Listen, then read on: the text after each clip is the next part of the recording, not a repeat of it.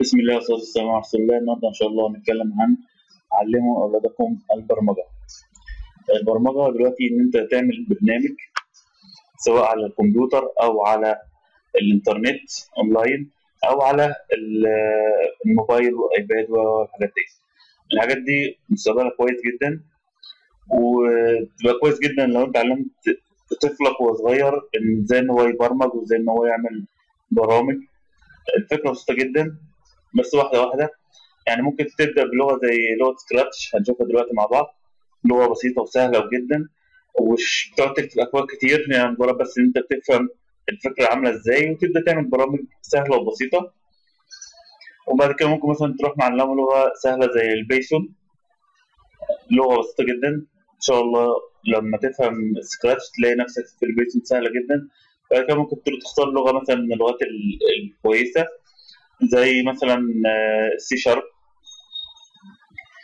فهي واحدة واحدة بتلاقي الأفكار بتبدأ يفهم إيه بتيجي إزاي وجت منين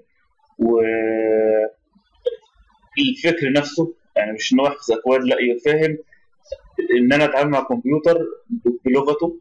الكمبيوتر بيحصل إيه لما أنا بدوس right click أو إن أنا مثلا عاوز معلومة بيتصرف إزاي؟ يعني بدل ما يتعامل مع الحاجة ك user عادي لأ يتعامل معاها كمبرمج فيفهم الفكرة؟ جاهزة هو سكراتش لغة قوية جدا وسهلة معمولة على أساس تفهم المبادئ بتاعت البرمجة وممكن تعمل منها ألعاب قوية ولذيذة.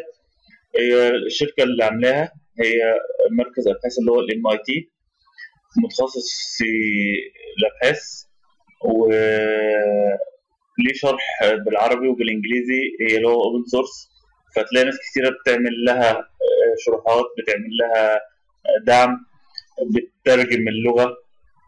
ممكن أدخل هنا إن أنا أعمل لها download تمام؟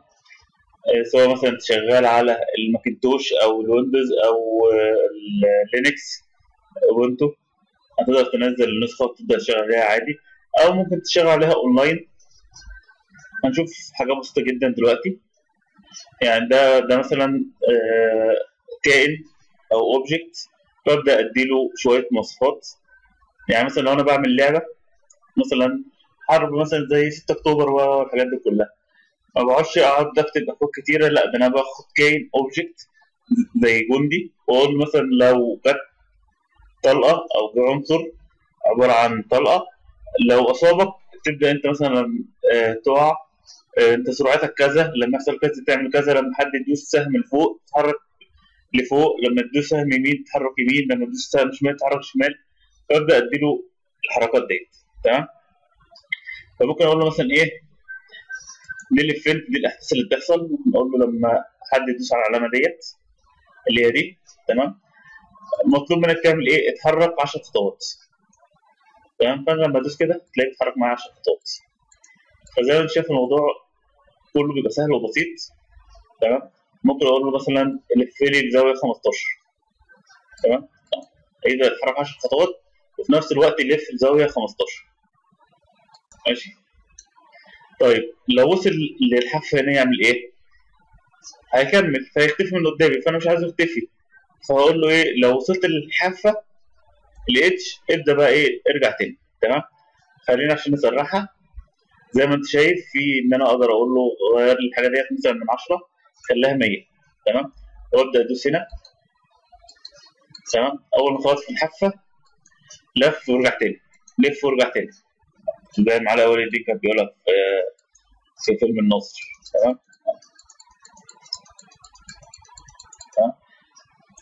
هتلاقي هنا ال events الأحداث اللي ممكن تحصل لي مش الأحداث إن حد عمل جريمة تاخد أحداث الحاجات ديت. لا إيه الحاجة اللي ممكن يحصل؟ فهو يبدأ يتحرك. مثلا حد يدوس على زرار ال space اللي هو المسطرة اللي هو الزرار الطويل دوت. تمام؟ أقول مثلا دوت لما حد يدوس مسطرة آه لف. تمام؟ لف بزاويه 15 يبقى أنا لما أدوس مسطرة مش هيتحرك هيلف. يبقى أنا عندي حدثين. حدث إن أنا أدوس هنا على العلم دوت العلم الأخضر علم ليبيا. الفترة بتاعت القذافي كان اخضر مش فاتح خالص. وفي المسطره يبدا يلف معايا بالشكل دوت تمام؟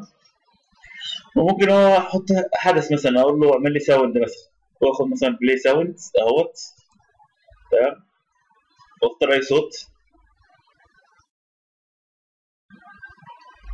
ممكن صوت مش ضار. السماعة ممكن أحط أي صوت تاني. يعني في أصوات كتير أقدر أعملها. تمام ممكن أختار صوت مثلا آه. مش عارف اطلع ولا لأ بس أنا سامعه دلوقتي. تمام. طيب وممكن إن أنا بعد ما أسطب البرنامج أبدأ أحط أكواد. تمام. أقول له أنا عايز ملف جديد file new save the current project no ده مشروع فاضي خالص. ده نسخه مسطبه على الجهاز عندي. أقول نفس الحاجات برضه control ابدا أشوف أنا محتاج إيه. هل مثلا motion أقول مثلا اتحرك لي. آه 20 تمام؟ طيب خلينا نبص كده على الواجهه ديت. إن لو أنا عايز أرسم أنا حاجة ممكن أبدأ أرسم اللي أنا عايزه وأقول له okay يبقى عندي هنا صورة جديدة. حاجة أنا رسمها بنفسي. ممكن أقول له أنا عايز صورة معينة وابدا اختار صورة من على ال desktop. ولكن صورة معز. أبدأ أصغرها. تمام؟ ممكن أصغرها أسرع من هنا. دي أدوات بتديني سرعة إن أنا ممكن أقول له أعمل rotate للشكل بتاعي. تمام؟ أو إن أنا أقول له إديني إن أنا أتحكم في الشكل الشكل بتاع الصورة. تمام؟ أهو. لأن أنا اصغر وأكبر والحاجات دي كلها طب إزاي يفهم إن الأمر دوت خاص بالعنصر ده أو العنصر دوت؟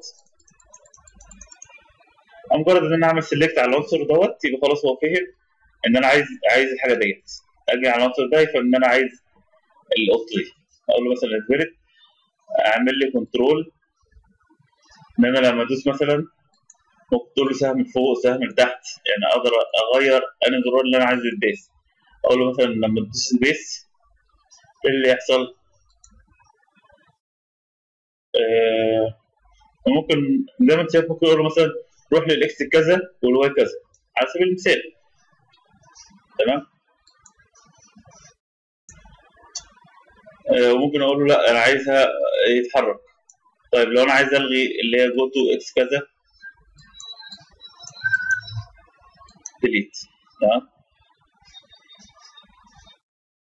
واضيف له لما توصل لل edge ارجع تمام.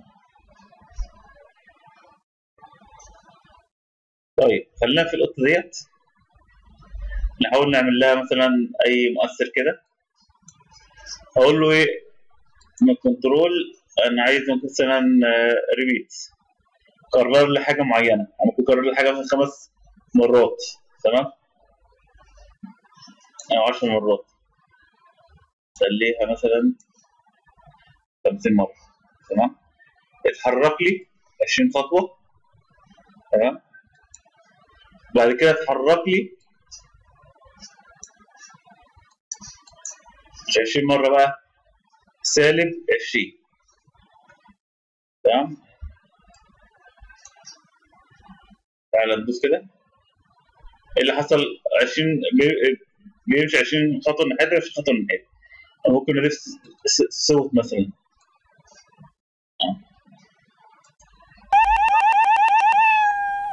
تمام؟ ده ده مثال بسيط على إن أنت تعمل ألعاب. طبعا بتقدر تعمل ألعاب advanced عن كده شوية بس دي الفكرة العامة. تمام؟